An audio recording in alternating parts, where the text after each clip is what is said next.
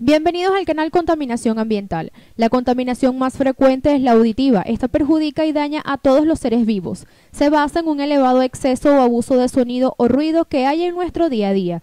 Estos sonidos pueden alterar y transformar negativamente las condiciones de todos los seres vivos, en especial los humanos. Además, esta clase de contaminación auditiva está en nuestro día a día y simplemente por eso no vemos realmente la importancia que tiene.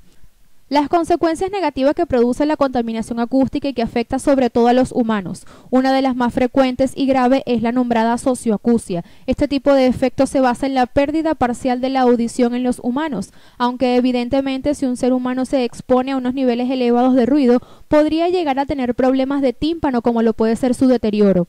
Existen diversas formas para reducir esta clase de contaminación. Entre todas ellas hay una que destaca por ser la más eficaz y simple.